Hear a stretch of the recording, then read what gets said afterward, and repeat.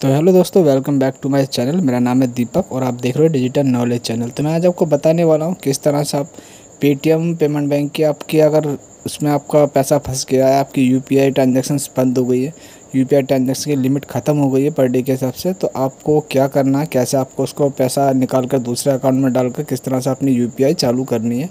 क्योंकि एमरजेंसी में किसी को पैसा ट्रांसफ़र करना होता है और हमारी लिमिट ख़त्म हो जाती है तो हम क्या करें, ये सोचते हैं। तो वही सोल्यूशन लेके मैं इस वीडियो में आया हूँ तो किस तरह से आप उसका पैसा निकाल कर दूसरे बैंक में डालकर अपनी यू से पैसा ट्रांसफ़र कर सकते हो। तो चलते हैं वीडियो की तरफ़, देर ना करते। तो जैसे कि दोस्तों हम आ गए मोबाइल की स्क्रीन पर, अब मैं आपको बताता हूँ किस तरह से आप यूपीआई को अपना चालू कर सकते हो। तो उसके लिए आपके पास एक अकाउंट और दूसरा होना चाहिए पेटीएम पेमेंट बैंक के अलावा। तो पेटीएम पे पहले हम चलते हैं। तो पेटीएम पे आने के बाद में आपके पास जो दूसरा अकाउंट है, उससे आपको यूपीआई को चालू करना है। मतलब जो पेटीएम पेमेंट बैंक में आपका पैसा फंसा हुआ है, उसको किस तरह से आपको निकालना है, वो मैं आपको बताने वाला हूँ।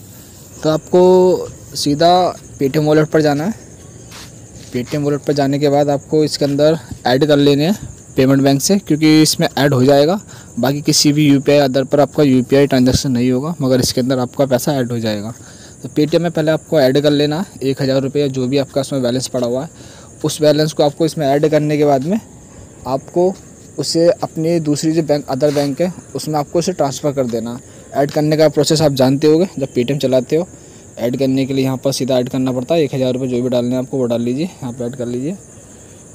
ऐड के ऑप्शन पर करने के बाद में जैसे ही आप पेटीएम पेमेंट बैंक पर आओगे तो यह है मेरे वैसे में इस टाइम बैलेंस नहीं है। तो आपको इसमें जाने के बाद सीधा सीधा आपको इसे ऐड कर लेना, जो भी पेमेंट आपकी होगी। उसे ऐड करने के बाद में सीधा आपको उसे बैंक में ट्रांसफ़र कर देना। ट्रांसफ़र करने का प्रोसेस भी आपको पता होगा, सीधा ट्रांसफ़र टू बैंक पर क्लिक करना। है और यहाँ पर अपना अमाउंट डाल देना।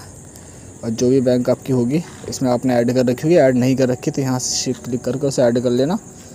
आई कोड और अकाउंट नंबर डालकर अकाउंट और होल्डर नेम डालकर उसे ऐड कर लेना। उसके बाद उस बैंक में उसे ट्रांसफ़र कर देना। ट्रांसफ़र करने के बाद में जैसे ही उसमें पैसा पहुँच जाएगा तो उसकी यू आपकी चालू हो जाएगी।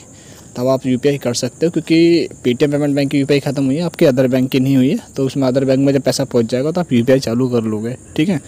तो यही प्रोसेस था।